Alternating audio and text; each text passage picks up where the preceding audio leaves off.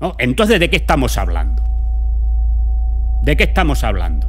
Pues estamos hablando de lo que existe en realidad, es una explotación de la clase trabajadora.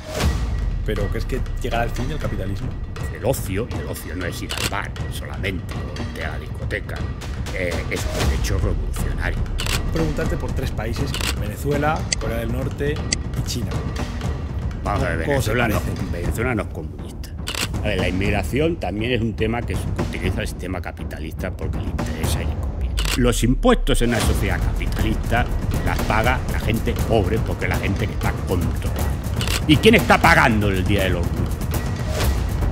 Empresas capitalistas que explotan a gente en su empresa, sea heterosexual, homosexual o asexual. ¿Quién patrocina el 8M? Empresas que joden a la gente, sea hombre o mujer. Esta es la política. La política al servicio de los amos del cortijo, de los que mandan de verdad. No de la gente. De los que mandan de verdad.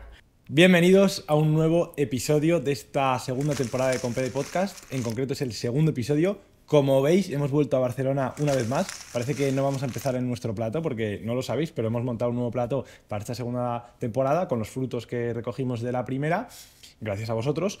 Y bueno, pues volvemos a estar aquí en la Clínica Planas.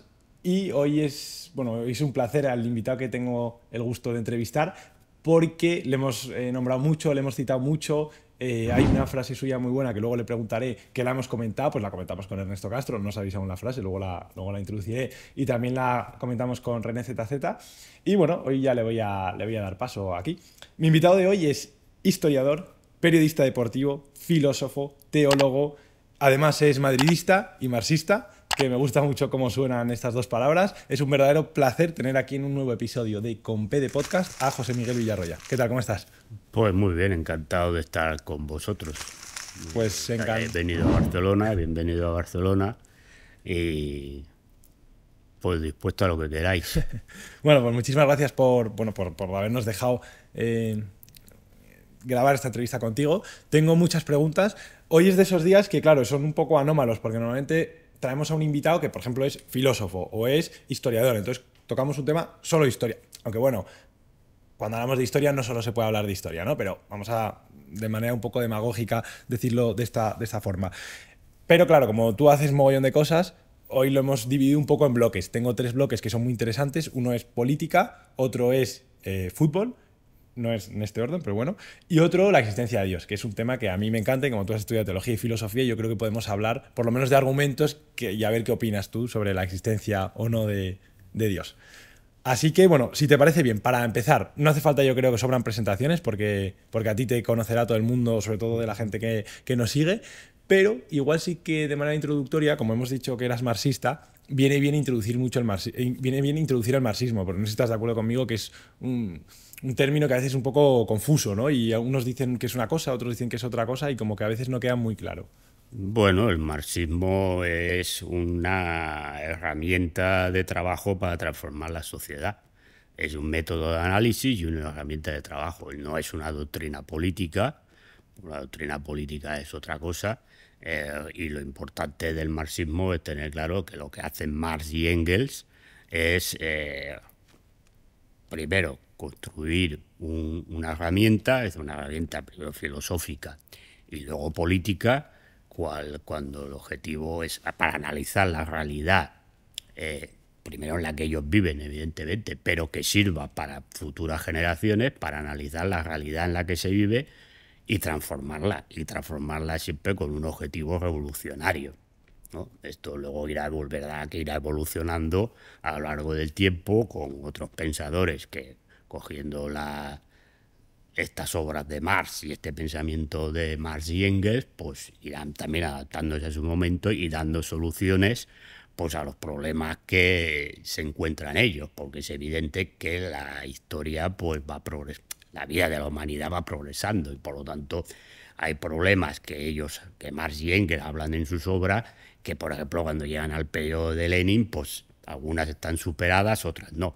Pero lo que no está superado nunca, mientras no se produzca la desaparición del sistema capitalista, es la, contradicción eh, interna que tiene el capitalismo entre provocar crisis para beneficio de unos pocos y fundamentalmente la explotación de una minoría, de una mayoría, perdón, por parte de una minoría. Eso no desaparece con el tiempo, puede pasar el tiempo. Lo que sí que hay es que son a lo mejor problemas más concretos que con el tiempo pues eh, ya se han mitigado, ¿no? Es decir, eh, eh, o al menos en zonas. Por ejemplo, si hablamos del trabajo infantil, pues es evidente que en Europa el trabajo infantil pues ya no existe, pero por ejemplo en otras zonas del mundo como es África, Asia o incluso Latinoamérica sí que existe. Por lo tanto, también hay que luchar contra la explotación infantil en todos los sitios, porque el método marxista es evidente que quien se sienta marxista lo que tiene que luchar es por eh, que las clases trabajadoras y desfavorecidas, sea de donde sean, vivan con dignidad, ¿no? Pero es evidente que si hacemos un análisis de España, por ejemplo, pues hombre, no vas a poner el trabajo infantil porque ya no hay, ¿no? Entonces, entonces este tema, pues bueno, entonces ha ido evolucionando gracias a luchas y y a conquistas sociales y eso pues ya no está. Pero el método de análisis de lo que es la sociedad, porque como la sociedad es capitalista, pues sigue siendo prácticamente lo mismo, porque el capitalismo, aunque se transforme, en su esencia sigue siendo igual que cuando la analizaron Marx y Engels allá por el segunda mitad del siglo XIX. ¿no?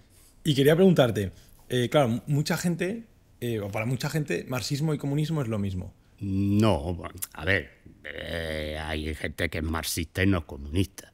Es decir, a ver, mm, claro, el comunismo es asociado a lo que es una ya un partido político que surge a raíz de la revolución rusa, ¿no?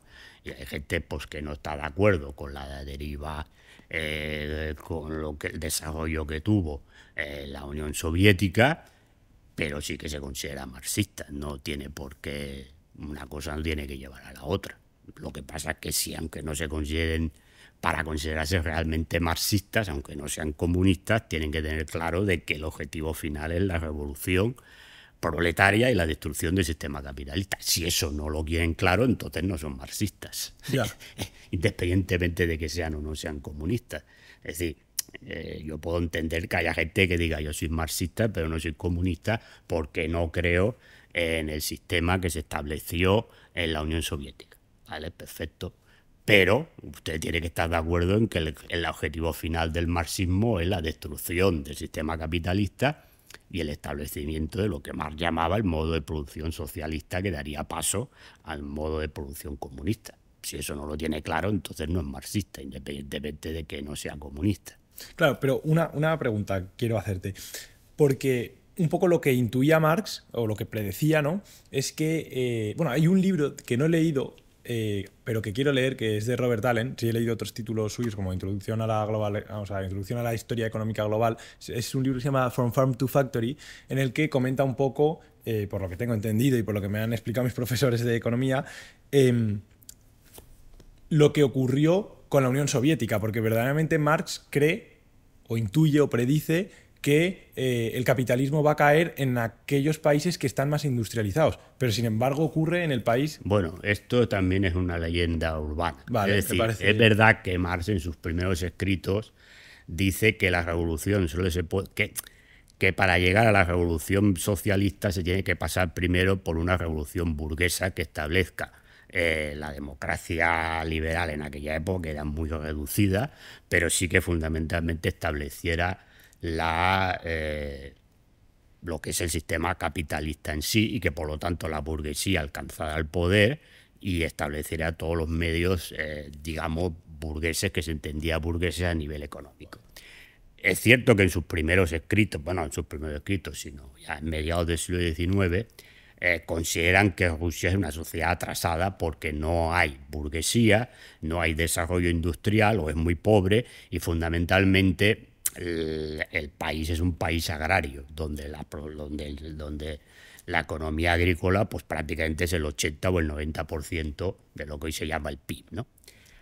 Pero en los últimos años de su vida, cuando ya empiezan a haber grupos marxistas en Rusia, que él tiene correspondencia con algunos de ellos y que le hablan, por ejemplo, de cómo funcionan eh, las, los setbos y cómo funcionan las granjas que había a raíz de la liberación de Alejandro II, de la servidumbre y de la liberación de los siervos y demás, él entiende y, empiezan a, y empieza a hablar, lo que pasa es que muere, pero sí que hay algunas cartas donde él dice que se puede dar la revolución en un país agrícola sin necesidad de pasar por la fase de revolución burguesa. Eso lo dice Marx. Por lo tanto, eh, y claro, también hay que decir que cuando se produce la revolución bolchevique, también es cierto que Rusia sigue siendo un país auto, autocrático, eh, no hay, evidentemente no ha habido una revolución democrática burguesa, pero sí que es cierto que la industria, sobre todo en importantes zonas del país, como en Moscú, San Petersburgo, que luego se da Leningrado, en la zona ahora de Ucrania, del Donetsk, eh, en Bakú y demás, empieza ya a haber una, un tejido industrial importante y en esa zona sí que empieza a haber una clase proletaria importante. Por lo tanto, claro, los análisis que hace Marx, claro, son de cuando él vivía y era una Rusia, la Rusia de 1917 es algo distinto a, la, a, cuando él escribe estas cartas, que es en 1881-82, porque muere en el 83, pero sí que es cierto que él ya reconoce que se puede dar una revolución directamente proletaria o socialista, como le quieras llamar, sin necesidad de tener que pasar por la fase de la revolución democrática o burguesa. Vale. Eh, otro concepto que también me parece interesante y quería preguntarte por él es el de los ciclos económicos, ¿no? Porque ha comentado al principio. lo decía Rostov. ¿eh? Y, Marx es un poco el, primero que habla de los ciclos económicos. Sí, bueno, a ver, no habla tanto de los ciclos económicos como Kondratiev, ¿no? Que es el que hace la teoría. O Barnes y Mitchell, por ejemplo. Mitchell. Pero sí que él. No, él lo que dice es que eh, el capitalismo tiene fases de desarrollo eh, y, tiene y para su mayor desarrollo tiene que pasar un periodo digamos de expansión y luego unos periodos de crisis. Eh, y él lo que dice y es un poco lo que estamos viviendo ahora es que el capitalismo para ir desarrollándose cada vez más cada vez los ciclos digamos eh, tranquilos o los periodos tranquilos del capitalismo serán más cortos y cada vez habrá más periodos de crisis que puede ser que sean más eh, cortas las crisis, pero que cada vez serán más profundas hasta llegar a la crisis final del capitalismo. ¿no? Bueno, eh, eh, claro, esto es malinterpretado como decir, bueno, entonces, ¿para qué esperemos hacer la revolución? Porque si ya se va a destruir el solo, pues entonces...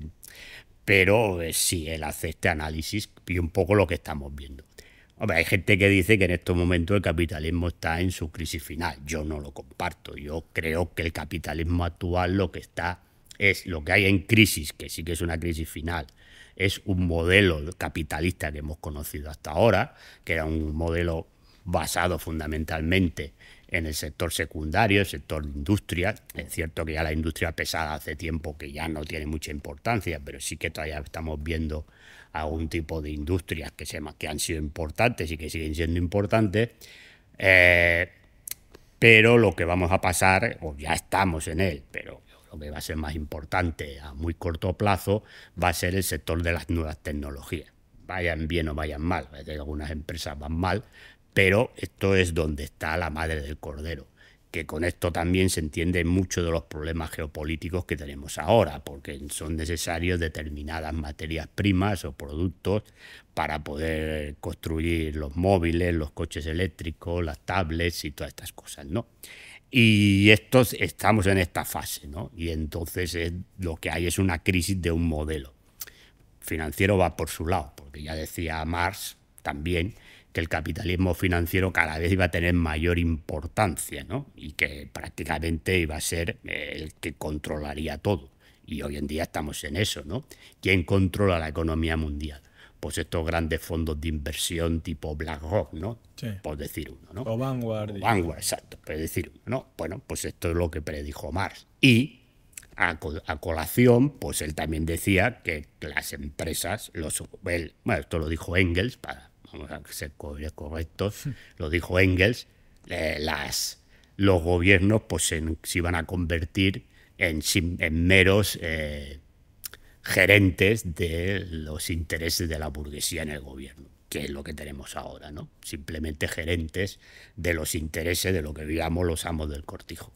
Y en estas estamos. Y aparte una concentración de poder, porque el control financiero, que es el que hace moverlo todo, cada vez está en menos manos. Por lo tanto, existe un, eh, todo eso que Marx explicó en el Capital, del desarrollo del capitalismo, pues ahí está, se está cumpliendo eh, al pie de la letra. Te quería preguntar, ya que has mencionado el poder, ¿qué es el poder? ¿no? Porque muchas veces hablamos del poder un poco en abstracto, ¿no? Para algunos el poder es el poder político, para otros no. Por ejemplo, escuchaba a Monedero hace poco decir que eso era una idiotez, que el poder que eso se da en primero de carrera, ¿no? Eh, de ciencias políticas, y que cuando se habla del poder, en todo caso, se habla del poder económico. Bueno, Monedero dice muchas tonterías. eh, que poco coherente con su luego su vida, ¿no? Eh, a ver, es evidente que en el sistema capitalista el poder está en manos del poder económico. Entonces, pero eh, si el poder político fuera un poder que verdaderamente quisiera luchar por la mejora de la gente, pues tiene fuerza para hacerlo. Lo único que ocurre es que los políticos que están en los gobiernos, y no solamente los que están en el gobierno, sino también los que están en las oposiciones, y toda la gente que está ahora, vamos a decir el caso de España, para no meternos en otros países, están en el Congreso de los Diputados, en el Senado, o en los parlamentos autonómicos, incluso en los grandes ayuntamientos, pues están al servicio de quienes están. Pero el poder político es evidente que tiene su importancia. ¿Por qué? Porque el poder político puede cambiar las cosas. Ahora, si el poder político se, se eh, se aviene a hacer lo que manda el poder económico, pues es evidente que en el sistema capitalista quien manda de verdad es el que detenta el poder económico. Y cuanto más poder económico tiene, más, es decir, más dinero tiene, más poder tiene. Bueno, pero eso es porque eh, la clase política a los que la gente vota para que le defienda sus intereses, pues no hace defensa de los intereses de la gente, sino lo que hace es defender los intereses de aquellos a los que verdaderamente sirve, que son los amos del cortijo, y ya está. Pero el poder político es evidente que tiene su importancia. Y eso está claro. Y cuando hablamos del el sistema capitalista, em, ¿tú crees que vamos hacia el fin? Sé que antes has comentado que, bueno, algunos creen que, que el fin va a llegar ya. Eh, por lo que un poco has dado a entender, entiendo que no, pero ¿crees que llegará el fin del capitalismo? Fin del capitalismo llegará si algún día hay una revolución proletaria que sea capaz de convertirse en una revolución mundial. Es decir, el problema es que cuando hubo la revolución rusa se estableció ese debate, por un lado Trotsky, por otro lado eh, Stalin, a ver, había más gente, pero para, digamos, eh, especificar los digamos, los principales teóricos de cada lado, que Trotsky defendía la revolución mundial y Stalin entendía que sí, que claro, que había haber una revolución mundial, pero que no se daban las condiciones para ella y por lo tanto había que construir el socialismo en un solo país. Bueno, este es un poco el problema. Yo ahora el problema que hay, más allá de estos temas históricos, ¿no? que son importantes conocerlos, a ver, el problema que hay ahora es eh, que no hay una alternativa real al sistema capitalista. Entonces es muy difícil que el sistema capitalista desaparezca. Porque hoy prácticamente todos los países del mundo son capitalistas, por lo tanto, eh, de una forma o de otra. Unos serán mejores, otros peores, otros tratarán mejor a la gente, otros no, pero eh, no dejan de ser capitalistas. Por lo tanto, a ver, yo aquí eh, ya sé que voy a meter una cosa que le va a molestar a gente, pero, eh, claro, cuando escribió su libro Fukuyama, El fin de la historia, el último hombre, verdad que Fukuyama es un señor de derecha que además eh, asesoraba a Bush y demás, pero lo que hizo Fukuyama, eh, hay que entender un poco el, libro de Fukuyama, aparte de que es un coñazo, con perdón de la expresión, hay que entender la idea que tiene el libro. Fukuyama lo que hace es recoger no desde el punto de vista de la historia, sino de la filosofía de la historia. Eh, las teorías de la filosofía de la historia de Hegel. Entonces, eh, Hegel, que introduce el método dialecto, dialéctica, de la dialéctica, en, que la utilizan Marx y Engels, eh, en, todos sus análisis también lo hace en la historia. Entonces él habla, para no enrollarme con el espíritu universal y todas estas cosas, pero también pone lo de la tesis, antítesis y síntesis. Y dice que este es el desarrollo de la historia. Claro, Fukuyama lo que dice es, utilizando Hegel, luego otra cosa es que estemos de acuerdo o no estemos de acuerdo con Hegel. Eh, si hay una tesis que es capitalismo y hay una antítesis que es el comunismo eh, y hay una síntesis que es eh, el triunfo de una sobre otra y que crea una nueva tesis, si ya no existe comunismo porque ha desaparecido, entonces la historia ya se ha acabado. Ha llegado a su fin. Claro pero la historia entendida como filosofía de la historia, no como la historia que dicen los franceses evénementiel, que es la historia de los acontecimientos. Es decir, lo que, a ver, lo que estamos haciendo tú y yo ahora es historia, ¿no?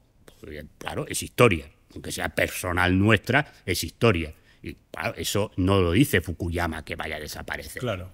Él lo que dice es, como no hay ya una contradicción al capitalismo, pues entonces la historia entendida como filosofía y como desarrollo de la humanidad, pues ya se ha acabado.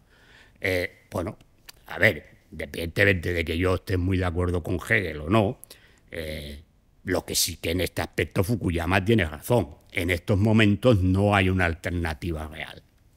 Y cuando llega una alternativa real, no es que no haya movimientos comunistas, no que no haya gente marxista, sino que en estos momentos no hay un país importante que no sea capitalista. Entonces, y que cree la contradicción contra el capitalismo y que sirva de antítesis a la tesis capitalista. Entonces, claro, este es el problema. Ahora, esperar que el capitalismo se caiga por sí solo mm, me parece que es un reduccionismo de lo que decía Marx. Porque Marx también te dice, es verdad que llegará el momento de la crisis final del capitalismo, pero hay que hacer la revolución porque si no, no se va a caer el capitalismo y de golpe un burgués que está gobernando va a decir, y ahora vamos a ser todos comunistas. No, habrá que hacer la revolución. Un poco rollo Robert Owen, ¿no? En ese sentido. Bueno, pero estos son los socialistas utópicos que decía Engels, ¿no? Es decir, no, eh, a ver, a ver, las cosas, la parte de que se den las condiciones objetivas que decían Marx y Engels para que se produzca una revolución, también se tienen que crear las condiciones subjetivas. Si no crean las condiciones subjetivas, es muy difícil que única y exclusivamente por las condiciones objetivas se produzca la revolución. Y una pregunta, hablando de, los países, ¿no? de que no hay una contraparte comunista que pueda... Eh, bueno, pues que puede hacer de palanca ¿no? contra el capitalismo. Quiero preguntarte por tres países que son los que, no sé si a veces demagógicamente desde el capitalismo se utilizan un poco para atacar al adversario político. Venezuela, Corea del Norte y China. Venezuela, no, Venezuela no es comunista. Porque Hugo Chávez no era comunista. Hugo Chávez era marxista, eh, pero no era comunista en el sentido estricto sensi, al menos que yo entiendo que es comunismo. Eh, lo que ha creado ahí, es decir, es un partido, porque en Venezuela existe el Partido Comunista, que ahora tiene sus líos, unos están a favor de Maduro, otros no, eh, pero bueno, no voy a entrar ahí. Pero lo que crea es un partido socialista que se llama un partido del socialismo bolivariano, ¿no? que es una mezcla pues, de marxismo, de teorías eh, indigenistas latinoamericanas y un poco tal pero nunca ha creado un Estado comunista. Es decir, es verdad que sí que tiene pues, eh, una mayor implicación de la clase de, para favorecer a la clase trabajadora, a las clases desfavorecidas, etcétera, etcétera, y, se ha, roto con oligarquías que de toda la vida de Venezuela, pero no es un Estado comunista. Eh, Corea del Norte, en esencia, es un país comunista desconozco mucho, eh, a ver, conozco de Corea lo que me explica mi amigo Hubert de Ventos, ¿no? Eh, pero no conozco mucho de, Corea del Norte. Pero hombre, Corea del Norte tampoco es un país que tenga un peso para poder contrarrestar, que tenga una economía comunista y una sociedad comunista, no tiene un peso para tal. Y China es un caso, a ver, tiene la potencia para ser un país eh, que pueda ser la antítesis de, de, hombre, es la antítesis de Estados Unidos, pero esto es un tema ya geopolítico y, que no tiene nada que ver con capitalismo comunista. Aunque podríamos decir que Estados Unidos es la simboliza el capitalismo. Pero vamos a ver, es, bueno, en estos momentos, pero en el siglo XIX lo simbolizaba Gran Bretaña. ¿no? Entonces, es decir, a ver, el hecho, es decir, eh, el capitalismo eh, no es un país. El capitalismo es un modelo de producción económica y de eh, construcción social. Luego los países, pues uno será la primera potencia o no. Es decir, cuando Marx escribe, la primera potencia es el Imperio Británico, Gran Bretaña y sus colonias, ¿no? Eso se cae y ahora es Estados Unidos. Bueno, Estados Unidos puede caer, ¿no? No pasa nada porque caiga Estados Unidos. Otra cosa que caiga el capitalismo. Este es otro tema. Entonces, yo lo que hablo son de, en términos geopolíticos, pues China sí que es la única potencia en estos momentos que le puede plantar cara, cara a Estados Unidos, sobre todo a nivel económico, también militar, pero bueno. Eh, pero China es un caso, a ver, mm, hablar de China te salen sarpullidos según con quien hables, sobre todo por parte de la gente de la izquierda. Mm, es verdad que el sistema capitalista o la propaganda capitalista eh, pues lo pone de comunista cuando le interesa y cuando no le interesa no lo pone de comunista. Incluso de capitalismo de Estado. Bueno, yo creo que lo que hay en China es un capitalismo de Estado. Es decir, existe el Partido Comunista, que es quien dirige el país, y existe tal, y es verdad pues, que se ha trabajado para que eliminar, erradicar la pobreza extrema en China eh, y ha hecho crecer el país. Eh, las empresas, pues es verdad que no hay ninguna empresa que sea totalmente privada, porque parte de los de, de, las acciones de la empresa, prácticamente la mayoría, todas dependen de, o la mayoría las tiene el Estado chino. Pero también es cierto, por ejemplo, que después de Estados Unidos es el país que tiene más ultramillonarios. Claro, yo ese no es el comunismo que yo conocí y el comunismo que yo defiendo. Entonces, bueno, pues ahí está. Hay gente que considera, no, que esto es el periodo de transición. Bueno, yo no creo que ese sea el periodo de transición. Mm, yo creo que el comunismo es otra cosa. A ver, yo entiendo que en determinado momento, igual que hizo Lenin con la nueva política económica, pues a lo mejor hay que hacer un pequeño, digamos, desvío capitalista, pero yo creo que era por una necesidad imperiosa de salir de un país que sale de la Primera Guerra Mundial y de una guerra civil que dejó el país destrozado. Eh, yo creo que China ya no está en esos eh, eh, estándares de lo que estaba la Unión Soviética de 1917 hasta 1925, bueno, verdad que la NEP se aplica a partir del 1920, no está en ese, en ese, en, ese campo. Entonces, bueno, pues habrá quien considere a China comunista y otros que no lo consideren comunista. Pero China tampoco pretende exportar su modelo, llámale comunista si le quieres llamar, al resto del mundo. Por lo tanto, tampoco a nivel eh, de lo que estábamos hablando, de que diría Hegel, diría Marx, o luego diría Fukuyama de forma más churrigueresca, no es tampoco la antítesis a la tesis del capitalismo, porque además China abraza determinadas eh, ideas de este capitalismo globalista. No todas, pero parte sí. Entonces no es la antítesis del, o yo lo entiendo, cada uno es libre de pensar lo que quiera, yo no veo a China como antítesis, es decir, el modelo chino, eh, me refiero, eh, no le veo como antítesis al sistema capitalista. Ok. Me gustaría preguntarte también, y esta es la cita de la que habló al principio de la entrevista y la que la he comentado con Ernesto Castro y con René, que era bueno, te lo escuché además a ti en, un debate o en una, charla en la que decías que el ocio era un derecho revolucionario. Evidentemente que sí. Es una cita muy interesante y yo creo que mucha gente no lo entiende, así que no sé si nos lo puedes explicar. Bueno, cuando empieza la revolución industrial, las clases trabajadoras trabajan prácticamente de sol a sol en las fábricas, incluso los niños, y solo tienen de fiesta eh, los domingos por un tema religioso, pues el Día del Señor. Iban a misa y después iban los hombres a las tabernas a beber ginebra, no tenían mucha otra cosa que hacer. Entonces, a lo largo del siglo XIX, fundamentalmente segunda parte del XIX y principio del XX, se va consiguiendo, eh, a raíz de la reducción de las jornadas laborales, más tiempo de ocio para la clase trabajadora y se va creando un ocio que es, por ejemplo, el fútbol nace eh, como ocio de los trabajadores. Luego se ha convertido en lo que se ha convertido. Pero nace ahí.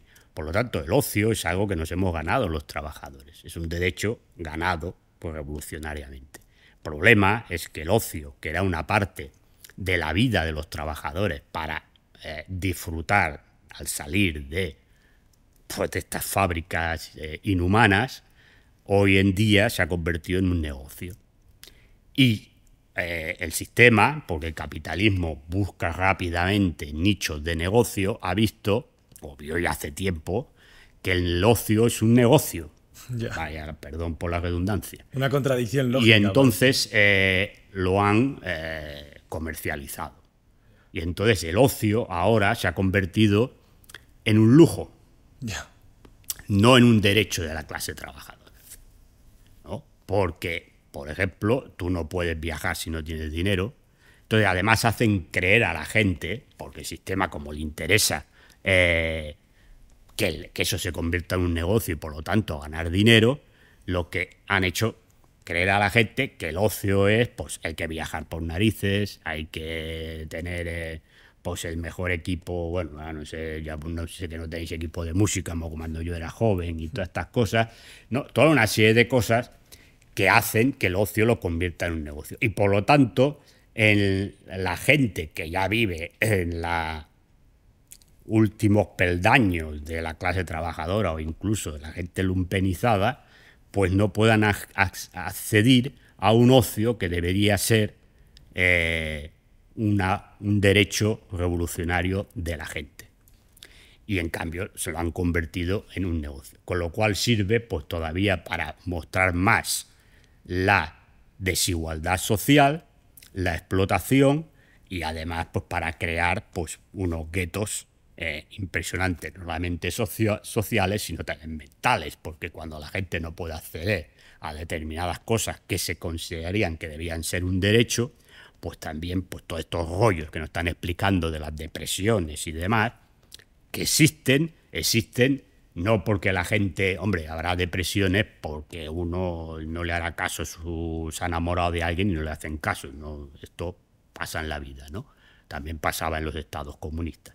Pero eh, fundamentalmente las depresiones vienen porque como han hecho creer a la gente que estas cosas son necesarias para que tú puedas vivir, cuando no son necesarias para vivir, pero te han hecho creer que es necesario para vivir, como tú no puedes acceder a ellas, al igual que a otras cosas no puedes acceder, pero incluso no puedes acceder ni a este ocio, pues entonces esto también te genera pues una depresión. Por lo tanto, hay mucha gente que está de depresión, no solamente porque no se pueda ir de vacaciones, sino, pero bueno, el hecho de no poder irse de vacaciones porque no tiene dinero, pues también le afecta a coger también todas estas depresiones. Y por lo tanto, yo siempre he reivindicado y reivindicaré que el ocio, el, ocio, y el ocio no es ir al bar solamente o irte a la discoteca, eh, es un derecho revolucionario. Porque Marx y Engels lo que decían era que lo que había que luchar era para que la gente tuviera cuanto más horas de ocio mejor. Es decir, la, la, distribución de la riqueza y el reparto del trabajo lo que conllevaba era a que la gente tuviera más, más horas de ocio. Y ellos entendían no el ocio ni salvar, que no estaban a la taberna, como se llamaba entonces. Y cuidado, no criticaban que la gente fuera a la taberna, sino que el ocio se puede entender como un desarrollo personal tuyo. Es decir, porque tú mejor puedes tener tiempo libre pues para escribir, porque te gusta escribir, para leer, pues para ir al cine, para ir al teatro, para tal, es decir, que no estés pendiente de que tú tienes un montón de horas de trabajo y cuando sales no tienes tiempo de hacer absolutamente nada o simplemente haya un ocio que no te puedas pagar. ¿no? Ahora hay gente que no se puede pagar el cine, que no se puede pagar el teatro, que no puede pagarse un, comprarse un libro eh, para leer, es verdad que hay bibliotecas, pero a lo mejor no tienen los libros que a ti te interesan. Es decir, hay toda una serie de cosas que deberían ser derechos adquiridos de la gente y los han convertido en un negocio. Y eso también lo decían Marx y Engels. Por eso yo reivindico y reivindicaré siempre que el ocio es un derecho revolucionario de la clase trabajadora. Lo que pasa es que evidentemente que en las tertulias lo que me dicen es que yo lo que, lo que defiendo es que los jóvenes hagan el botellón y que la gente se emborrache, ¿no? No, el ocio, lo decía, a ver, que a mí no me parece mal que la gente haga botellón y si un día alguien que pilla una turca, como decíamos cuando éramos jóvenes, que la pille.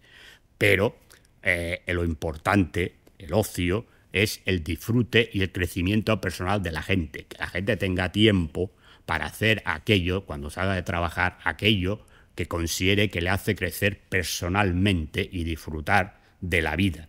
Eso es el ocio, como entendían Marx y Engels. Por lo tanto, entonces, ¿qué ha ocurrido? Pues que estamos otra vez como la época en que Marx y Engels escribieron esto. Es decir, que tenemos tantas pocas horas libres que la única salida que tenemos pues es irnos al bar. ¿no? Porque además es prácticamente lo único que la, muchísima gente se puede permitir. Porque no se puede permitir unas vacaciones porque no se puede permitir a lo mejor ir al cine todas las semanas, porque no se puede permitir ir al teatro todas las semanas, porque no se puede permitir comprarse un libro al mes porque ya tiene dificultades a lo mejor para comprar los libros de los colegios de los niños. Es decir, esto, esto es lo que yo hay detrás de esta frase que yo digo que el ocio es un derecho revolucionario. Y es un derecho que nos están quitando como todos los demás derechos. Esto es lo que, precisamente esto es lo que, lo que te voy a introducir ahora, es lo que comentaba con Ernesto. Em, ¿Crees que ha calado en el imaginario colectivo la idea de un ocio que se instrumentaliza a favor del capitalismo? Y si me dejas desarrollarlo es... Claro, verdaderamente, eh, yo por lo menos como lo entiendo, y cuando hablo con amigos, eh, mis amigos que bueno, trabajan de X hora a X hora, o de X hora a Y hora, y cuando terminan de trabajar se ponen quizás a leer libros para ser más productivos, ¿no? Entonces, claro, verdaderamente el poco tiempo libre que se tiene lo estás instrumentalizando para ser más productivo y precisamente forma parte del negocio, ¿no? En lugar del ocio, ese tiempo libre. Bueno, por lo que te he dicho, porque el ocio lo han convertido en un negocio. Y entonces dirigen el ocio o, o dirigen los intereses del ocio de la gente al negocio. Entonces, bueno, pues en un aspecto será pues, que la gente se compre o se lea libros de cómo ser mejor broker en la empresa, cómo ser no sé qué, o, el hecho de que no, no, usted tiene que irse de vacaciones a Benidorm, pues que no tengo nada en contra de que la gente vaya a Benidorm. ¿no? Pero bueno, entonces ves todo esto masificado, lleno de gente, tal, porque ¿quién se ha forrado con todo eso? Bueno, pues se ha forrado el empresarios de turno, etcétera, etcétera. ¿no? Bueno, esto es lo que yo lo que quiero decir, evidentemente. ¿Por qué? Porque el ocio en estos momentos es un nicho de mercado para el crecimiento del capitalismo. Quiero tocar otro tema que no guarda mucha relación con esto, pero es un tema interesante y además te escuchaba hace poco hablar de él. Eh, y además con una noticia que ha pasado hace poco, pues yo creo que se, puede, se puede complementar. Es el tema de la inmigración. Eh, bueno, hace poco salía Pedro Sánchez, ¿no? A decir que, o a sostener un discurso que parece más un discurso de la derecha, entre comillas, que del Partido Socialista. Que bueno, pondré aquí el fragmento, saldrá ahora en. creo que sabes cuál es el fragmento del que hablo. Lo pondré por si alguien no lo ha escuchado. Y bueno, no sé si, si puedo saber tu opinión al respecto. Vamos a ver. El tema de la inmigración es un tema que tiene muchas aristas. Y entonces ni se, ni se puede ir al sector de la inmigración es mala, todos los inmigrantes fuera, ni se puede caer en el buenismo. A ver, la inmigración también es un tema que, utiliza el sistema capitalista porque le interesa y le conviene. Entonces, eh, la solución a la, inmigración está en los países de origen. Es decir, eh, que la gente pueda vivir dignamente en sus países de origen. Entonces, la gente, si puede vivir dignamente en su país, no va a emigrar no va a migrar a nivel masivo como estamos viendo. Luego habrá gente pues, que pues, irse y ya está, como siempre ha pasado en la vida. ¿no? Eh, Pero el problema de la inmigración que tenemos ahora, y vuelvo a lo que he dicho de ese capitalismo tecnológico, es el control de toda una serie de materias primas y ¿no? todas estas tierras raras, el colton, el litio, el petróleo, etcétera, etcétera. Todo esto está en países eh, africanos fundamentalmente y también de Latinoamérica, de Asia, ¿no? Por lo que pasa es que los asiáticos no llegan tanto aquí. Eh, bueno, ¿qué hay? Pues hay eh, pues multinacionales que están ahí controlando, intentando controlar todos estos recursos y por lo tanto eh, con gobiernos corruptos allá, porque totalmente miserias, hambrunas, en el caso africano, en el caso latinoamericano no llega tanto, pero también hay miseria y demás, que hace que la gente pues tenga que salir porque no puede vivir. Sencillamente no tiene esperanza de vida. Ninguna. Entonces, ¿qué pasa? Que la gente sale. Bueno, la gente sale. Entonces, la gente, cuando sale de su país, ¿dónde va a ir? Pues no se va a ir a un país que esté igual que el suyo. Se va a ir a un país que entienden que están mejor. Entonces entienden, pues, por ejemplo, que Estados Unidos está mejor o que eh, Europa está mejor. Bueno, pues entonces, evidentemente, África pues está cerca de Europa, pues vienen a, eh, vienen a Europa. Latinoamérica pues se reparten entre Europa y fundamentalmente España por el tema del idioma o Estados Unidos. Bueno, eh, ¿qué ocurre? Bueno, la gente viene, la gente está explotada allí, por la gente no tiene esperanza de vida, por lo tanto la gente sale. Y tú puedes hacer la ley que quieras aquí. Mientras la gente allí no tenga esperanza de vida, va a seguir viniendo. Entonces, cuando vienen, eh, eh, ¿Qué, pasa? Bueno, los que se consiguen quedar eh, no tienen nada. Entonces, es la lumpenización total. Entonces, como necesitan un trabajo para tener los papeles o no sé qué, no sé cuánto, o si no, es igual, necesitan pagarse una habitación, necesitan comer, es decir, por lo tanto, necesitan trabajar. Bueno, ¿qué ocurre? Pues que se les contrata. ¿Se les paga lo que se les tiene que pagar? No por la mayor parte de ellos, la mayor parte del salario se les paga en negro, ¿no? Con unas condiciones laborales, pues que son un desastre. Entonces, ¿qué ocurre? Esto es máximo beneficio para el empresario y al mismo tiempo, pues devalúan eh, el mercado laboral. Y esto hace que en sectores, por ejemplo, donde ellos más van a trabajar, que es el sector de sector terciario, para entendernos, hostelería, restauración, eh, etcétera, la construcción y demás, pues bueno, si ya de por sí ya es un mercado laboral precario, con unas condiciones precarias, pues ahora ya lo son muchísimo más, ¿no? Salarios de basura, muchas horas trabajando, mucha parte del salario en negro, etcétera, etcétera. Bueno, beneficio pues para el empresario. Y luego hay otra, otra parte, que es que esto que le interesa que vengan, al mismo tiempo eh, no se establece ningún tipo de búsqueda de una integración social. Entonces lo que creas, como ah, esta gente no tiene nada, pues ¿dónde va a ir a vivir? Pues va a ir a vivir a barrios donde los pisos son más baratos o las habitaciones donde viven son más baratos y entonces ¿qué, ocurre? Que ya son barrios que tienen problemas y se construyen guetos. Y esos guetos al mismo tiempo tienen subguetos, porque la gente al final se reúne por eh, afinidad cultural. Y por lo tanto es un gran gueto con subguetos, con muchísimos problemas. Problemas eh, de convivencia, porque al no haber, no, no, no haber una política de integración social, pues hay problemas de convivencia y al mismo tiempo hay choque cultural porque el problema es que la gente que recibe la inmigración en sus barrios, pues sus barrios se han transformado de la noche a la mañana y por lo tanto ahí hay una conflictividad, ya cultural y, de convivencia. Luego están pues estos discursos, porque si hay más delincuencia, porque hay más inmigrantes y tal, que todo esto luego se ve que no es así, pero es igual, pero la gente si tiene la percepción de la delincuencia, pues también se lo cree. Entonces, todo eso al sistema ya le interesa porque es una manera de enfrentar a la gente que está abajo. Entonces, de golpe aparecen estos partidos que hablan de que si los inmigrantes, que si no sé qué, no sé cuántos y tal y cual, pero son, son partidos creados por el sistema.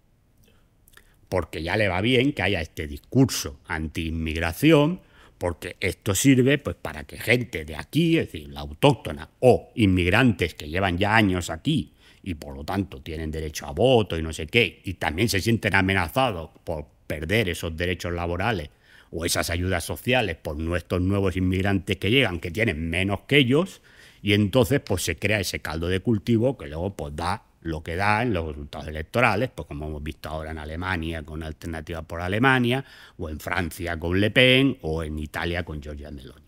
Pero que son partidos sistémicos, no son, no son Hitler, para entendernos. Que Hitler también era un partido sistémico, pero bueno, no vamos a entrar ya en, en historia de Alemania. Pero me refiero a que son partidos sistémicos. ¿Por qué? Porque cumplen la función que ya le interesa al sistema, que es enfrentar a la gente. Entonces, el discurso de Pedro Sánchez, claro, Pedro Sánchez primero nos habla de la migración circular, ¿no? Que es, no, voy a traer inmigrantes de allí, pero que estén solamente un tiempo porque tendrán un contrato, no sé qué, no igual. Pues esto es ya la explotación total.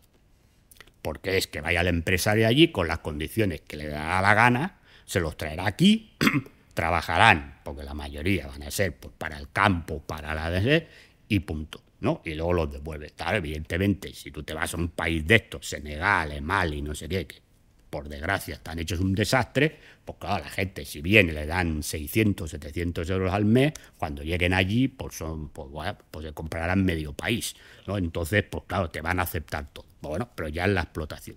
Y luego, claro, tiene que a este discurso que lo ha hecho también Olaf Scholz, ¿no? Claro, ¿por qué? Porque, claro, aunque todos sirvan a los amos del cortijo, hombre, todos quieren ser el gerente mayor del reino. Entonces, claro, no quieren perder la poltrona. Entonces, como ahora han visto de que electoralmente, pues este es un tema que va a estar ahí y que sacan votos estos partidos, pues dicen, hombre, no, yo no le puedo dejar el discurso de, de la inmigración a estos partidos porque si no me van a comer la tostada. Entonces, las deportaciones. Hombre, vamos a ver, quien no se comporte, pues que se le deporte.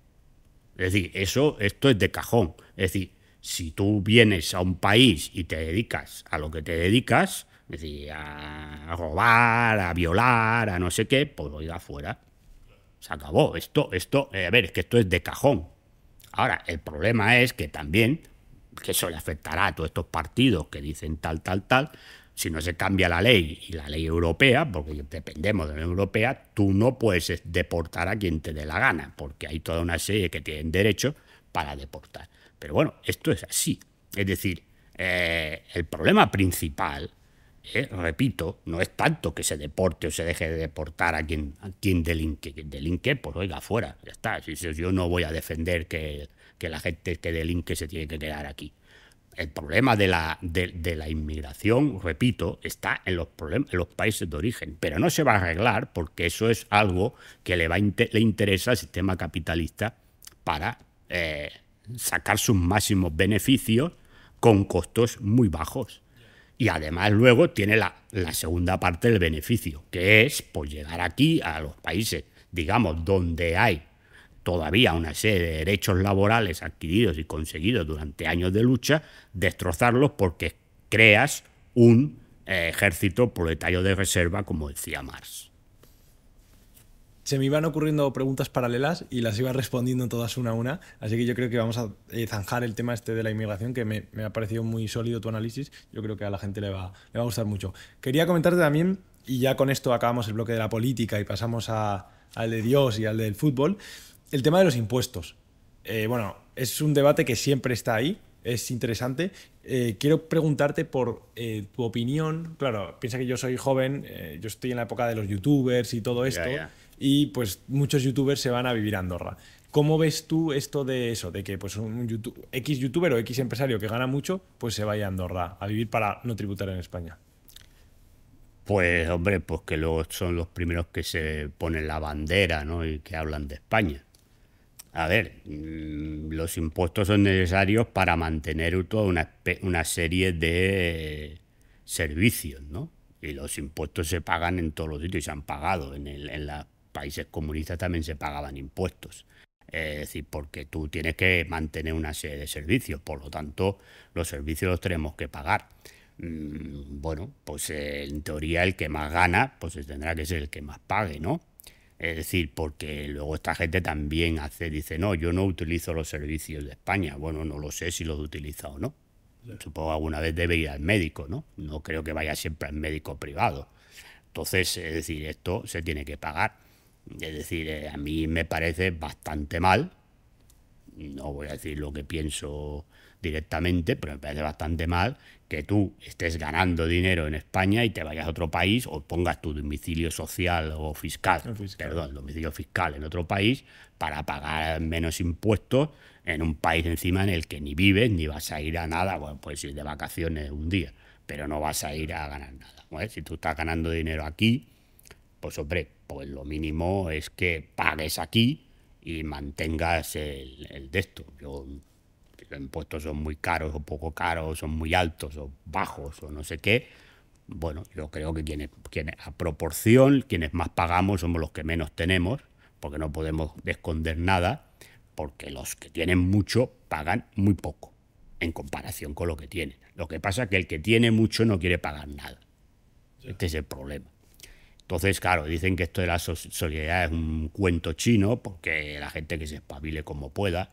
Bueno, ya es pensamiento político. Pero yo lo que más les critico es que luego se ponen la bandera y que son muy españoles y no sé qué. La gran mayoría de estos que, digo, no son ante los youtubers, también los empresarios, ¿no? Luego se ponen la bandera de que ellos son muy españoles y no sé qué, no sé cuánto. Bueno, pues si uno se siente muy español, lo que tiene que hacer es contribuir y ayudar a que la sociedad y los que menos tienen, pues tengan al menos derecho de ir a, de ir a un médico, ¿no? No tener que estar pagándoselo todo, ¿no? Pero bueno, ya son supongo que cuestiones ideológicas de cada cual. Y claro, aquí surge otro debate que es muy interesante, ¿no? Y es que dentro de los propios países se hacen competencia, ¿no? Porque, claro, tú te vas a Andorra, por ejemplo, que está... Aquí. No, ya hacen competencia a las comunidades autónomas. Por ejemplo. Pero bueno, esto está en la primera vergüenza. Es decir, si tú vives en la Unión Europea y la Unión Europea que se mete en todo, porque no establece un impuesto único para todos los países europeos. Se acabaría esta comedia, pero no les interesa. Claro. Porque hay países. Por ese modelo, ¿no? A ver, si yo me iría de la Unión Europea, empezando por ahí. Pero ya que estamos, pues que hagan un impuesto único. Porque hay países que son paraíso fiscal dentro de la Unión Europea. Luxemburgo es un paraíso fiscal. Irlanda es un paraíso fiscal. Entonces, ¿de qué estamos hablando? Ahora, las leyes laborales sí que en todos los países son iguales, ¿no? Entonces, es decir, eh, restrictivas para la clase trabajadora. Entonces, es decir, para lo que interesa sí que hacemos leyes que son iguales para, todas las, para todos los países. Pues ponga usted una ley fiscal, para todo, una política fiscal para todos los países igual y que todos los países, es decir, el IVA sea igual en todos los países y el impuesto de sociedades sea igual en todos los países y el IRPF sea igual en todos los países y entonces acabará la comedia esta. Pero claro, si tú mantienes uno de los países fundadores, que es Luxemburgo, es un paraíso fiscal, si tú te vas a Luxemburgo, que es un país pequeñito y la, capital se llama Luxemburgo, eh, hay una calle, la calle principal, tú vas por la calle y vas a un bloque de pisos y en un blog y entras y en el blog que hay, hay como 400 eh, estos carteles ¿no? de, de sociedades. No hay ninguna. Están ahí, pero ninguna existe ahí. Pero claro, su medio fiscal es la calle esa y ese edificio o ese piso. En un piso o en un despacho puede haber 50 empresas, en teoría. La realidad es que no hay nadie piso, a ver, no vacío no estará, a lo mejor hasta vivo yo. Hay gente que vive ahí en ese piso y cobra por poner el domicilio fiscal ahí, las empresas estas. Entonces, esto es una vergüenza. ¿no? Entonces, ¿para qué sirve la Unión Europea? Bueno, pues la Unión Europea sirve porque la Unión Europea es eh, representante de las élites globalistas y de estos amos del cortijo y las políticas que se hacen son esas. Ya está. Y tienes ahí a la señora von der Leyen esta, pues que es la representante máxima de todo esto. Ya está, de la mentira. Punto. Pues los que estaban antes, ¿eh? No estoy diciendo que ahora haya venido ella y haya hecho, no, no. Los que estaban antes. Bueno, pues que hagan una política fiscal y se acabó. Igual que en España. ¿Por qué no hay una política fiscal en toda España? ¿Por qué en Cataluña se paga más que en Madrid? Y en Madrid se paga menos que en Andalucía o en otros. No, perdón usted, estamos en España, ¿no? Pues todo el mundo pague lo mismo. Bueno, tenga el mismo tipo de impuestos. Luego, el que tenga más pagará más. Pero, bueno, pues ¿por qué se hace? Bueno, pues porque interesa, conviene y todos son comedias y ya está. Pero siempre a favorecer, porque yo no voy a sacar ningún beneficio si me voy a Madrid. Porque, claro, en Madrid, ¿dónde está el beneficio de Madrid? Si soy millonario. Porque el impuesto de sociedades es menor, el impuesto de sucesiones es menor y no sé qué, si soy millonario. Pero si soy un trabajador mondo y lirondo, pagaré lo mismo en Cataluña que en Madrid. Esta es la política. La política al servicio de los amos del cortijo, de los que mandan de verdad.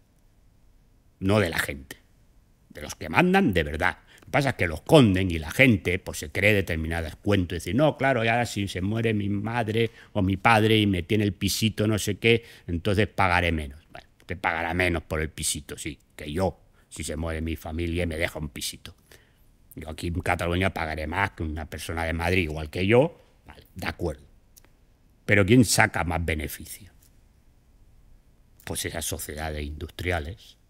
El señor Abotín, por ejemplo, ¿no? Claro, un familiar y le deja todas las acciones y todo esto, pagará dos pesetas o dos euros. ¿no? En cambio, nosotros, aunque tengamos que pagar poco, pagará mucho más a proporción que, que pagará por la señora Botín. Ya, un impuesto regresivo que se llama, ¿no? Cuando los que más tienen pagan Claro, menos. Los impuestos en una sociedad capitalista las paga la gente pobre porque es la gente que está controlada. La gente rica, aunque pague, en proporción paga mucho menos que lo que paga. Entre ellos porque la mayoría de las leyes hacen esas trampas contables que son legales, que les permite no declarar todo lo que tienen. Pues ya está. Entonces no estemos contando. Es decir, los impuestos los paga siempre la clase trabajadora, no los pagan los ricos. Yo no digo que los ricos no paguen impuestos. Que haya algún rico que me esté viendo y diga, no, yo pago impuestos. Sí, usted paga impuestos. Pero usted a proporción paga menos impuestos que yo. Porque yo tengo que pagar por todo lo que tengo, usted no paga por todo lo que tiene ni por todo lo que gana. Yo creo que con todo esto que hemos hablado está bien cerrado el bote, o sea, el bote, el, el bloque, Bloque, de la política. El bote no es otra Bote- cosa. bueno, el bote, nos toca un bote de la lotería, pues oye, Encantado. puede ser un millonario. Iremos a vivir a Andorra también. Quería, quería preguntarle ahora por la idea de Dios.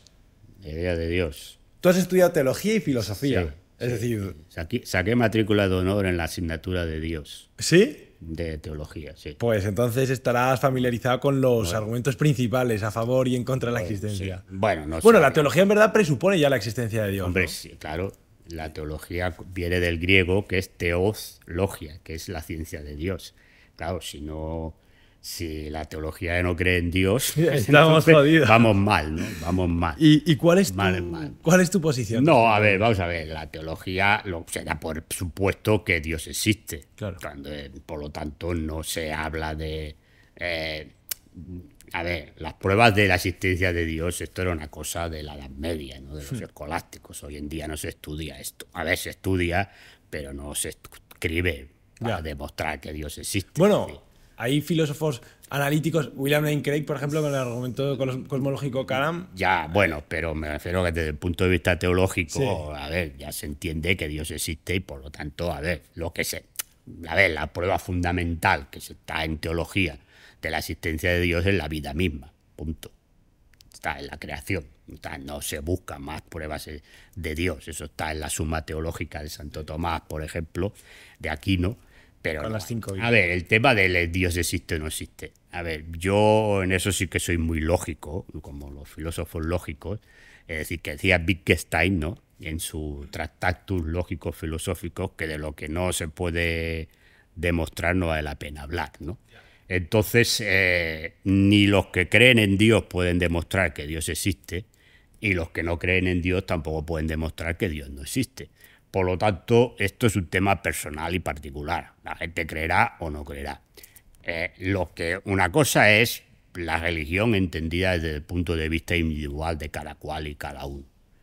Y otra cosa es la iglesia como institución. o, que se quiera convertir a la religión en parte de la política de un país. Estas son cosas distintas, no tiene nada que ver con la existencia de Dios. Tú puedes creer o no creer, tampoco yo no sé si el, mundo lo ha creado Dios o ha salido por generación espontánea. Como eso no va a demostrar nadie desde el punto de vista científico, ni lo otro, pues bueno, pues crees o no crees. Esto tampoco tiene mayor importancia. Lo importante es que la religión no sea una parte de la política de un país. Es decir, que la religión se entienda como algo personal y privado de la gente. Que haya centros religiosos que la gente quiera ir, pues, a ver, en la realidad donde yo viví había iglesias. Había iglesias católicas y había iglesias protestantes, que eran las dos religiones que más había. En aquella época allí no había musulmanes. Eh, bueno, pues entonces ya está. Es decir, las iglesias tenían un acuerdo con el Estado para entrar, verdad que luego la iglesia protestante sí que se metió ya más en política, pero eh, cada uno, eh, la religión se hacía, es decir, el Estado no hacía nada, no tenía nada a nivel religioso. Había fiesta el día de Navidad, no porque fuera Navidad, pero era fiesta, y la gente pues celebraba la Navidad y el que era creyente pues celebraba la Navidad desde el punto de vista creyente, la Nochebuena. Bueno, pues este, este es el tema de la religión, ¿no? Que la iglesia tenga su apartado para aquella gente pues, que sea creyente y considere que necesita pues ir a las misas o hacer las eucaristías o hacer o que su familia, su familiar sea muerto, pues le hagan el responso, bueno, pues se siente, eh, digamos, eh, bueno, bien con eso. Bueno, eh, cuando Marx y Engels hablan de que la religión es el opio del pueblo, es evidente que es una época donde la religión tiene mucho peso en lo que es la política y el sistema de dominación de las élites a, la clase eh, trabajadora o incluso las clases campesinas.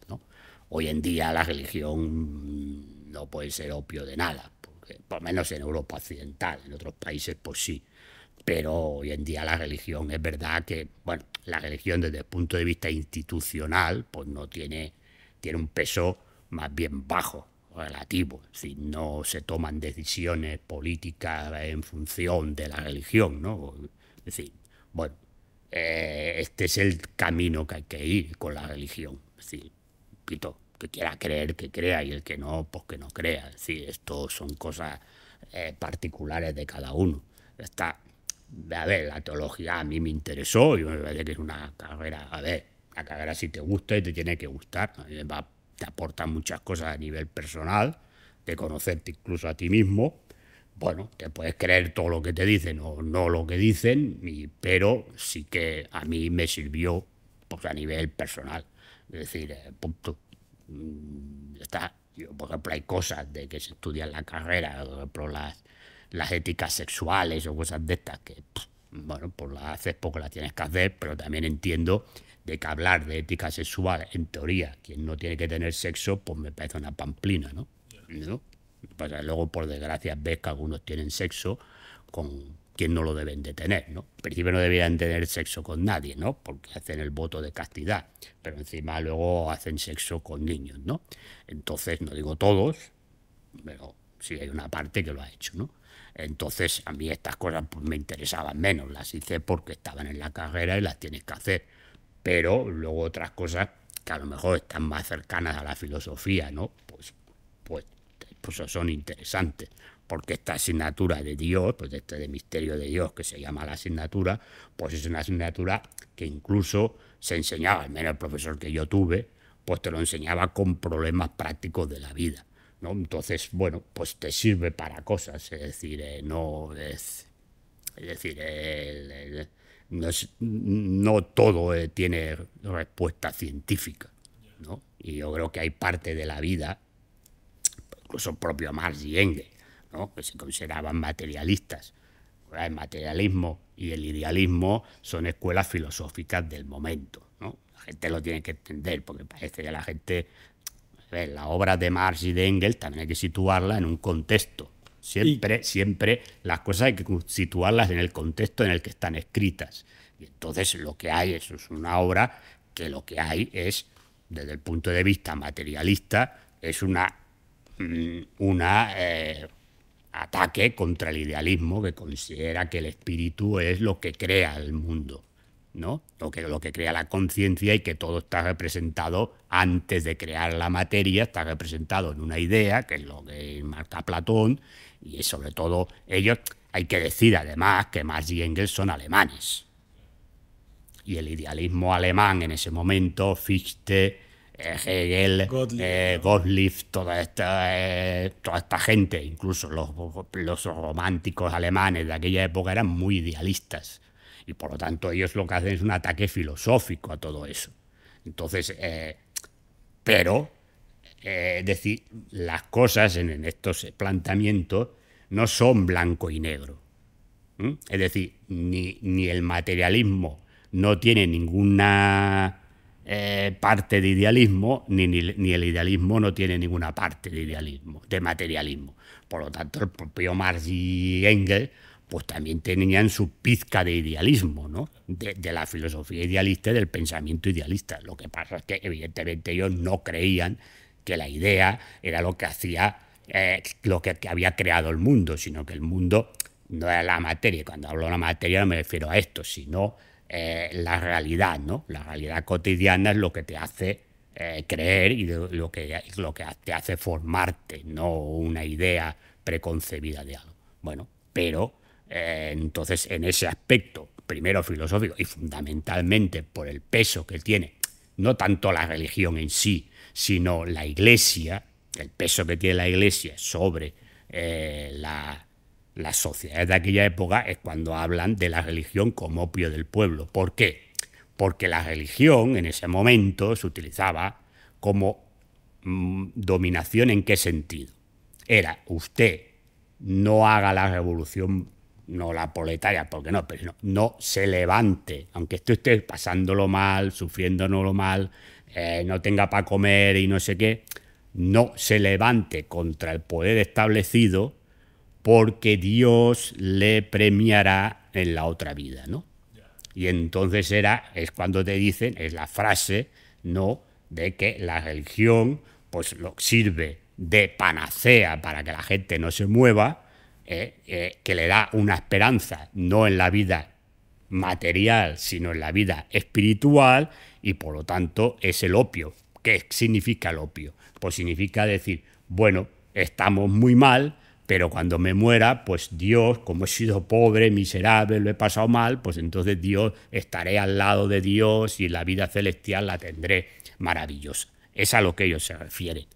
Esa es cómo hay que entender la frase esta. Es decir, desde el punto de vista de la importancia de la idea religiosa y de la Iglesia en sí como institución, sobre todo en los países católicos, pero también en los países protestantes, eh, de dominación de las clases bajas. En aquella época, pues el incipiente proletariado y sobre todo las clases agrícolas, ¿no? que era lo que tenía el peso, porque esa frase es de la ideología alemana. Estamos hablando de principios del siglo XIX, 1840, así, eh, antes de las revoluciones burguesas del 48. Por lo tanto, es cómo hay que entender la frase. Pasa que luego la frase, verdad, que queda muy bien y tal, pero la frase hay que entenderla en ese contexto. Es decir, ellos evidentemente no creen en Dios, porque no creen en, una idea que es a la que cree el mundo. Pero ellos no están en contra de que haya gente que crea, porque ellos tienen amigos que son creyentes. Es decir, lo que están en contra es de la utilización de la idea de la religión como dominación eh, de las clases desfavorecidas bueno, entonces yo repito, eh, a mí el creer, no creer, pues es, eh, bueno, decir, lo importante es que lo que tengas claro es que la Iglesia no puede imponer en, dentro de la sociedad, incluso a los creyentes, no puede imponer la agenda política. Es decir, tú puedes ser creyente y estar en contra del aborto, ¿no? porque evidentemente una de las casas fundamentales de, de, los dogmas de la Iglesia, en este caso la Iglesia Católica, estamos en España, también de las protestantes, pero bueno, los protestantes no tienen dogmas de fe, pero bueno, hay cosas que son pilares básicos, pero en, la, en, la, en la católica, pues si es verdad que es un dogma de fe el derecho a la vida, es decir, la vida solamente te la, te la da Dios y te la quita Dios, bueno, tú puedes ser creyente y tú puedes ser presidente de gobierno, pero tú no puedes negar el derecho al aborto por las limitaciones que quieras poner, eh, por el hecho de ser creyente. lo que la agenda no la puede marcar la política. Otra cosa es que yo, por ejemplo, te voy a decir claro, no estoy a favor del aborto libre. Lo digo así de claro. Como tampoco estoy a favor de la eutanasia libre. ¿Mm? Es decir, no estoy a favor. Es decir, yo creo que hay que tener bueno, pues una serie de casos, de condiciones y que estén bien estudiadas. Como tampoco estoy a favor eh, de la ley trans esta que han hecho, de que un niño de 8 años se puede cambiar de sexo. Tampoco estoy de acuerdo. Luego, a ver, si una persona ya es adulta, considera que se tiene, no se siente hombre o no se siente mujer y quiere ser, bueno, entonces ahí es otro tema. Eres una persona adulta, habrá unos estudios médicos o no, o lo que sea, y tal. Y hombre, y después, alguna cosa que ya me parece también eh, una charlotada y me parece un insulto a la humanidad. Es hablar de que la gente se puede cambiar de sexo diez veces en la... A ver, vamos a ser un poco serios de la vida, ¿no? Me parece a mí que hay que ser un poco serios y un poco... Y esto eh, no tiene nada que ver por el hecho de que yo haya estudiado teología, sino me viene también de, eh, de un mundo comunista, porque el mundo comunista lo que defiende es la dignidad humana. Y entonces me parece que estas son cosas que defienden la dignidad humana. Es decir, en los países comunistas había el derecho al aborto, pero no es un aborto que, no, ahora yo estoy y quiero abortar, bueno, vamos a ver usted qué ha pasado para que usted pueda abortar. Y hombre, evidentemente eh, la eutanasia no existía, también eran épocas diferentes, y hombre, los cambios de sexo, es verdad que no había ni, posibilidad de hacerlas por el tema científico y médico. A ver, estaba respetada la gente que era homosexual y demás. Que yo no tengo nada, ¿eh? es decir, gente quiere ser homosexual o eso, no quiere ser o es homosexual o lesbiana o demás. A mí eh, lo que critico es la charlotada en la que se ha convertido todo esto. ¿Y, tú crees, por ejemplo, que un hombre... O sea, he entendido el concepto de que no puedas cambiarte de sexo diez veces, pero por ejemplo una vez. O sea, que el sexo no sea solo biológico, sino que... Y tampoco eh, que esté la psique, sino que sea, por ejemplo, biopsicosocial. Vamos a ver. Eh, hay una cosa que es clara en la ciencia. A ver, de, eh, géneros hay dos, masculino y femenino. Lo que ya no podemos empezar es cambiar, querer cambiar que la, hay más géneros, no, hay género masculino y femenino. Porque esto es la vida.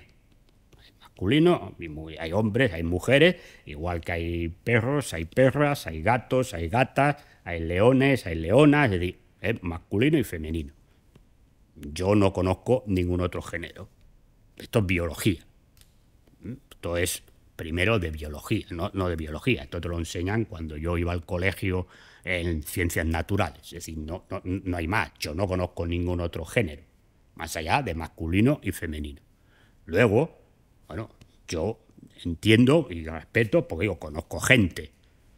Bueno, pues que a lo mejor, a ver, eh, como diga la palabra, no quiero ofender a nadie ni pues, ¿eh? morfológicamente es un hombre. es de género masculino bueno, yo no discuto que se sienta mujer, se sienta femenino, yo no, o al revés, es decir, una mujer porque se sienta hombre, ¿no? Bueno, yo no pongo en eso en disputa ni en discusión, pero bueno, es decir, pero primero vamos a ver, es decir, no puede ser por una persona con 8 o 9 años, pues me cambio de sexo. Vamos, vamos a ver un poco de seriedad, ¿no? En la vida. Es decir, bueno, vamos a ver, ahora al momento, pues sí, pues si se ve que esta persona pues se siente mujer o se siente hombre, pues bueno, y hace un cambio, pero yo entiendo que si tú te sientes mujer o te sientes hombre y eres un hombre que te sientes mujer o eres una mujer que te sientes un hombre, te cambiarás de sexo una vez. Punto. Porque entonces creo que te sentirás realizada como persona, es decir, en el momento en que tú al menos físicamente te veas como una mujer o te veas como un hombre, ¿vale? Si yo eso lo puedo entender. Y repito, yo conozco gente y sé que hay mucho sufrimiento detrás. Sé que hay mucho sufrimiento detrás, porque conozco casos y sé que hay mucho sufrimiento detrás, de rechazo familiar, de rechazo, de rechazo social, es decir, hay mucho sufrimiento detrás. Y me merece el máximo de respeto. Ahora, lo que yo no entiendo es que tú me hago mujer y al cabo de tres años no me hago, vuelvo a ser hombre. Hombre, esto mm, usted no es que se sienta mujer, sienta hombre, usted Hombre, y después estas cosas ya de gente que ni se hace, ni se opera, ¿no? No, ahora yo puedo decir que me siento mujer. Ahora. Y encima me peleo con una cajera del supermercado porque me tratan masculino. Hombre, es que vamos a ver, yo creo que estamos entrando en unas payasadas y unas charlotadas que es demasiado. Perdón, a ver, estamos hablando de temas muy serios. De temas muy serios. Es decir, a ver, yo, me pongo una falda y soy una mujer, o el otro se pone un pantalón y soy un hombre, o ahora soy un binario, o soy terciario, o, soy, o a ver, oiga, vamos a ver, vamos a dejar de decir tonterías, decir estupideces. Vamos a ver, si hay personas que no se sienten, y además lo están pasando mal porque están sufriendo, porque no se sienten identificados con la morfología que le ha dado la vida, no entro ni se la, ha dado Dios, ni no, no la vida, es decir, pues, por los cromosomas, pues tienes los cromosomas masculinos o tienes cromosomas femeninos. ¿Por qué? Pues bueno, no lo sé. Bueno, que no te sientes identificado con eso y de verdaderamente lo estás pasando mal y tú te sientes mujer o te sientes hombre, hombre, yo creo que realmente la persona, esta persona, en el, por el momento que haga un cambio de sexo, pues ya, se, ya estará bien, ¿no?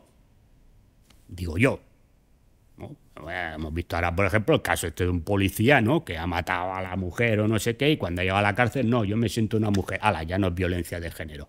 Hombre, vamos a ver, vamos a, vamos a ser un poco serios en la vida. Porque al final el problema es que los derechos de gente que ha estado luchando por estos derechos, ¿eh? es decir, lo que se ha conseguido gracias a la lucha y gracias a gente que lo está pasando mal, pues al final se convierte en una pamplina y además generan rechazo. Es decir, a ver, es como lo mismo que lo del Día del Orgullo. El Día del Orgullo se ha convertido en, una fiesta capitalista para ganar pasta.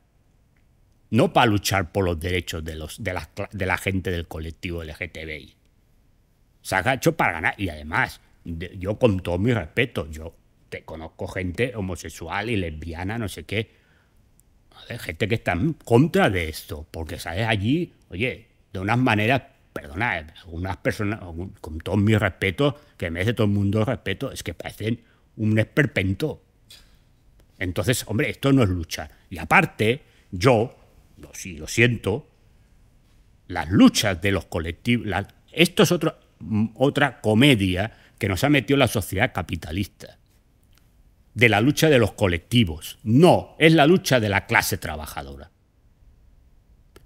Porque, como decía Rosa Luxemburgo, que por cierto la sacan todas las feministas cuando Rosa Luxemburgo odiaba a las feministas, odiaba el feminismo y odiaba a las feministas, y si no, que se lean sus escritos sobre los derechos de la mujer y la lucha de la mujer, y verá cómo las, ponía de vuelta y media, igual que Clara Zetkin o Alessandra Kolontai, que también las citan, las tres las ponían de vuelta y media a las feministas. ¿eh? Pues como decía Rosa Luxemburgo, la liberación de la mujer, y ya lo decía en ese momento, porque es verdad que en aquella época los homosexuales estaban muy perseguidos y nadie se atrevía a hablar de eso. ¿eh? Pues la liberación de la mujer, la liberación del colectivo LGTBI o la liberación de las minorías raciales en los países eh, del primer mundo, como decíamos en mi época de joven, se conseguirá a raíz de la clase trabajadora. Porque la gente no está discriminada por ser mujer o por ser homosexual o por ser negro está discriminada por ser trabajador. Porque a la señora Ana Botín no la discrimina nadie. Es más, ella discrimina a mujeres, porque despide igual en su empresa del Banco Santander a mujeres y a hombres, con la misma miseria. Toma por saco. ¿eh? Pero la señora Botín no la discrimina a nadie por ser mujer. Las Kellys de los hoteles están discriminadas por ser clase trabajadora. Y encima la mayoría inmigrantes. Pero por ser clase trabajadora. A un homosexual que sea actor de cine no le discrimina a nadie. A un homosexual que le, le discriminen en su puesto de trabajo es porque es un trabajador. Y lo mismo a los negros de juegan en la NBA, no les discrimina a nadie. En cambio, al negro del Bronx le pegan paliza a los policías o le matan. Pero es por ser clase trabajadora. Y con cuidado. Y con eso no quiere decir que no existe la violencia de género. Claro que existe la violencia de género. Y pueden y a lo mejor la pareja de la señora Ana Botín le puede pegar una paliza. Pero ese es otro tema. Eso no es el derecho de la, de la mujer. Eso es un problema cultural. Igual que a un homosexual le puede pegar una paliza a un homosexual millonario un, gilipollas. Pero esos son otros problemas. Pero cuando hablas de los derechos, se habla de los derechos, los derechos no son de los colectivos. Lo que pasa es que nos ha, nos ha hecho creer el sistema, y ahí la gente ha caído, en que las luchas son las luchas de los colectivos. ¿no? Que si el feminismo, que si el colectivo LGTBI, que el colectivo racial, que si el indigenismo, que si no sé qué y que si no sé cuánto. Y eso, ¿qué lleva? La atomización de la clase trabajadora. Y ya le va bien, porque la división y la lucha interna dentro de la clase trabajadora es la fuerza que le da el poder a la élite. Y por eso defiende eso. Porque ¿quién patrocina, por ejemplo, hoy en día? Tú vas a reclamar los derechos del colectivo LGTBI y vas al Día del Orgullo. ¿Y quién está pagando el Día del Orgullo? Empresas capitalistas que explotan a gente en su empresa, sea heterosexual, homosexual o asexual. ¿Quién patrocina el 8M? Empresas que joden a la gente, sea hombre o mujer. ¿No? Entonces, ¿de qué estamos hablando? ¿De qué estamos hablando? Pues estamos hablando de lo que existe en realidad, es una explotación de la clase trabajadora. Y la liberación de toda la, de la clase trabajadora viene a través de la revolución proletaria. Y entonces se solucionarán los problemas también de todos estos colectivos. Como clase trabajadora no estarán discriminados. Porque lo que tienen que entender es que su discriminación no está por el hecho de ser mujer, o por el hecho de ser homosexual, o por el hecho de ser indígena, o por el hecho de ser negro, o por el hecho de ser eh, blanco, sino está en su condición de clase trabajadora. Ya. Y ya sé que me he ido de Dios. Pero, No, bueno. pero. Pero como soy bien. marxista, me he ido a la realidad material y no a la realidad espiritual que nos desvía de, de- de la atención. El opio, ¿no? No, pero claro, porque a lo que te dirían es que Dios nos quiere a todos. Ya. Claro, Dios Pero- nos quiere a todos. Lo que pasa es que la- la- Dios quiere a todas sus criaturas. El problema está en que los que representan a Dios, que son los que mandan, que se- aunque ahora- y cuando digo los que mandan, el poder económico, porque estos van casi todos a las misas, ¿eh? se dedican a joderle la vida a la mayoría de las criaturas de Dios. Dios no te jode la vida. Y ya- Exista o no exista, Dios no te jode la vida. Te la joden los que mandan. Me quedo con la duda de si crees o no crees en Dios. Yo tengo una creencia particular en Dios. Tengo una creencia particular y ya está. Ahí lo dejamos. Ahí lo dejamos. Me parece bien. Como Dios es del Madrid, pues entonces tengo que creer algo en Dios. ¿Dios es del Madrid? Eso dirías que. Dios es del Madrid. Dios Por lo del- tanto, como Dios es del Hay Madrid, hay que creer, hay que creer, del hay que Madrid. creer. Hombre, fíjate, todas las remontadas de los últimos segundos solo se explican por la intervención divina. Eso. Entonces, por lo tanto, algo hay que creer en Dios, porque si no creemos en Dios los madridistas, entonces vamos mal. Entonces porque- hay que tener una creencia particular en Dios. Pensar, pensar que es fruto del azar, ¿no? Tantas remontadas en el último No, minuto durante tanto mano- tiempo. La mano, la mano de Dios que mueve la pelota para que los delanteros o los jugadores del Madrid metan el gol en ese minuto clave para que entonces eso es la mano divina. Eso, y eso ya, mira, ahí Santo Tomás de Aquino ya pondría una nueva prueba de la existencia de Dios. La sexta vía, la sexta vía es el Madrid. la sexta vía la- es la remontada del Real Madrid. Si Santo Tomás de Aquino viviera ahora, pues ya pondría claramente que esta es una de las vías de demostración de la existencia de Dios. ¿Y cómo, cómo ves a cómo ves al Madrid esta temporada? ¿Qué Por tal ahora es? mal. Mal. Bueno, ayer esto, claro, la gente no lo sabe, pero esto se graba después de ganar al 2 de septiembre, bueno, pues por ahora mal.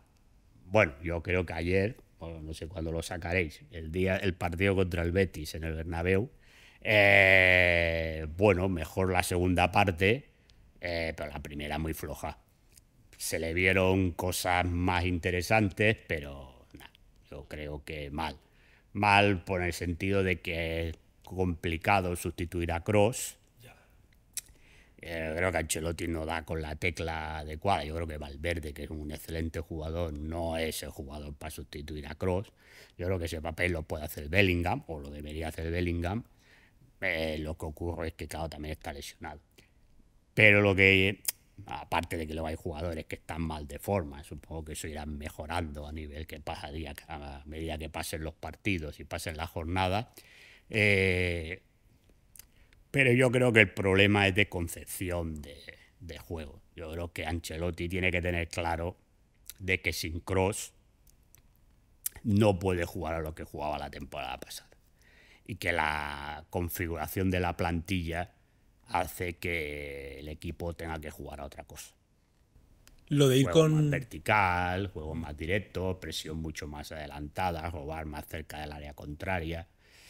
Bueno, luego el entendimiento entre los tres de arriba o los dos de arriba, según cómo termine de poner el, esto, esto se irá dando a medida que pasen los partidos. Ten en cuenta que llegaron de vacaciones, tuvieron que poner a jugar la Supercopa, y no ha habido esas pretemporadas que existían antes de que había un mes preparando el equipo y por lo tanto son automatismos que supongo que a lo mejor ya para diciembre o así o antes ya el equipo en ese aspecto de encontrar a Mbappé o de funcionar colectivamente, pues funcionará mejor. Yo creo que el problema fundamental es de la idea de cómo se tiene que jugar o cómo tiene que jugar el Madrid.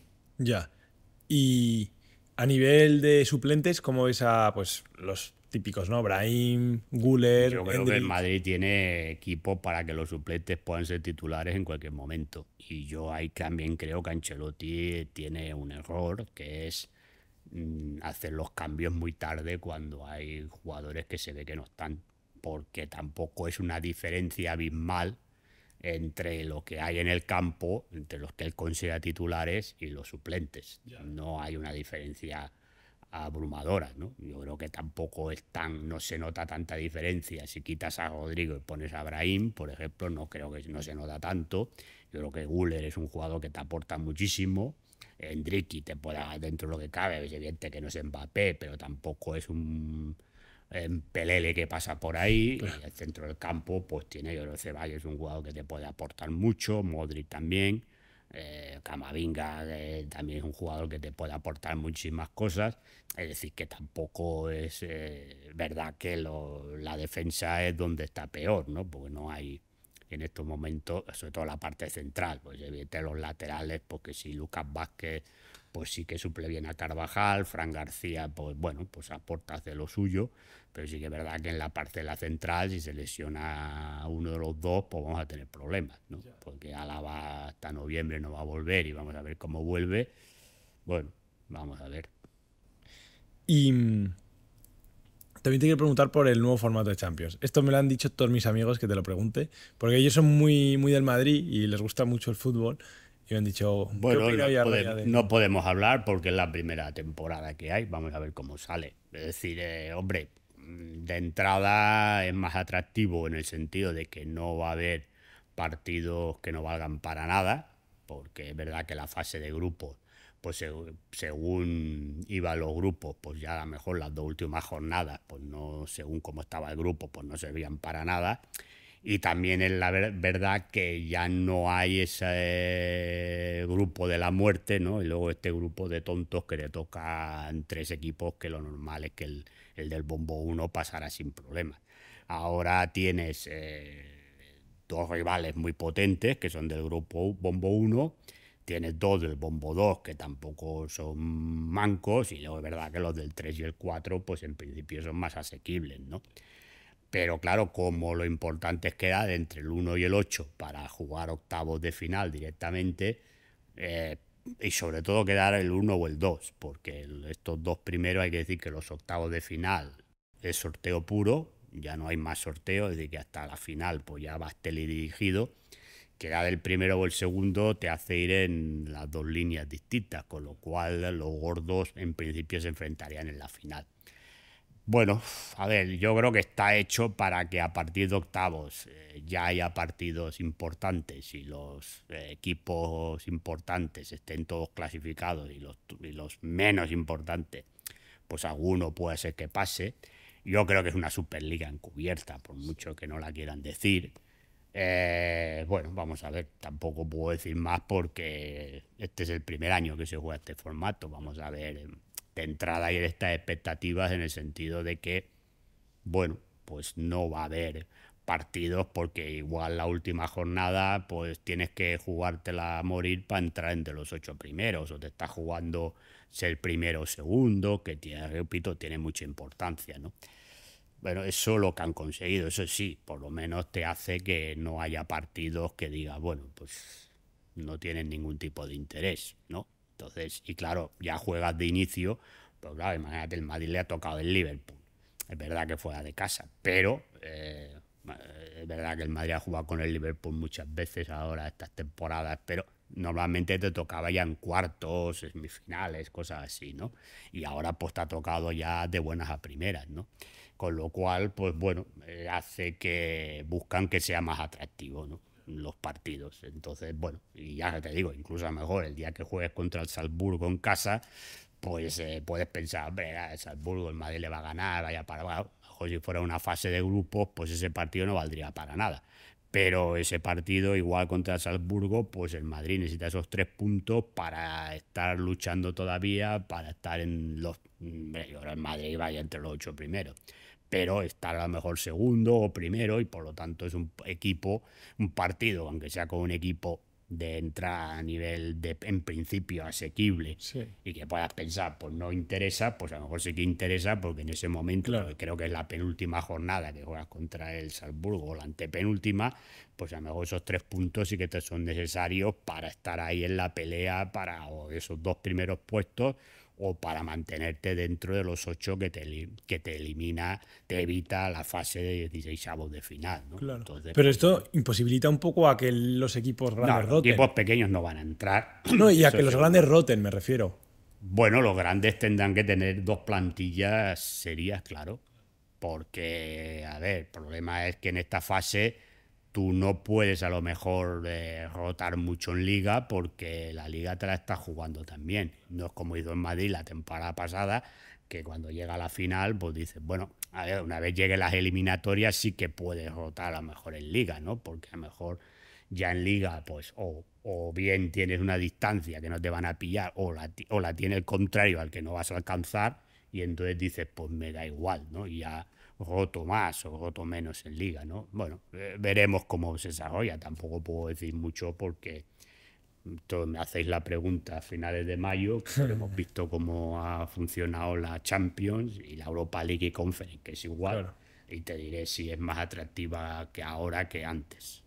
Y otra preguntilla que también, esta es más, bueno, es curiosa, y es qué tal se vive en Barcelona, porque tú vives aquí en Barcelona, siendo del Real Madrid. En general no hay problema. No hay problema, ¿no? A ver, hay problemas más por el interior de Cataluña. Ya. Pueblos pequeños, cosas así. Pero en Barcelona, ciudad o hospitales, que es donde yo vivo, no. no hay mucha gente del Madrid. Hay mucha gente del Madrid. Sí, mucha gente del Madrid.